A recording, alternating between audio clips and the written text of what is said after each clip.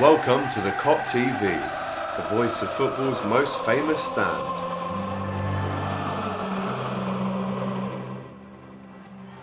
AGT back with another fan cam. I'm here with someone quite special actually. This guy is actually my manager. We might as well say the team name. Go on, what is it? Shield Park FC. I did say Shield Park FC on Sky Sports News last week. He did indeed. Does that get me a start? Possibly. no, of course. Of course. You want to go. Love that. You want to go centre defensive mid, don't you? So. it's up Push, you. push me up, mate. Listen, let's talk about the game. 3 1 in the end. A great first half. If you actually count up the score in the second half, we lost that 1 0. 1-0. But the big one on Sunday, Carl, are we prepared for this season? Yeah, definitely. I think bringing the centre back in, million percent. Centre back, Van Dijk. You've got. I don't think he'll put. I think he's going to put Van Dijk and Gomez. Arnold, yeah, definitely. I don't think he's going to throw him in the deep end. Don't think, no, I don't think he will. I think he'll do Van Dijk, Gomez.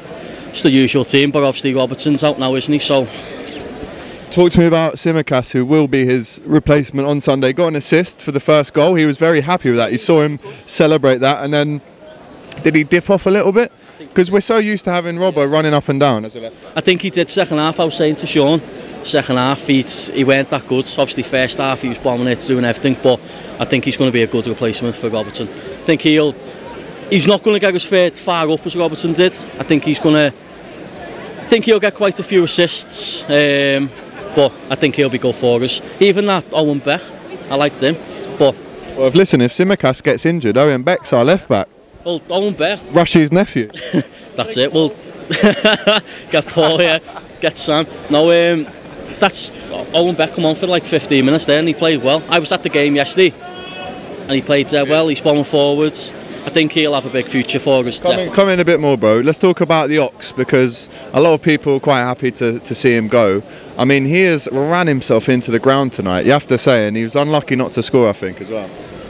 I don't know with the Ox because he goes. He, he's all right. He, he, he gets the ball, goes forward, but I don't think he knows what to do in that final third. He had a good chance there, second half, where the keeper made a brilliant save, but I think Ox is one of them where he'll play about 20 games and then he's injured. I just think he's injury prone. He's a very good player, but I think he's very injury prone. Like you've just said there, I think 30 40% want to see him go. I've seen on Twitter where they've been slagging him.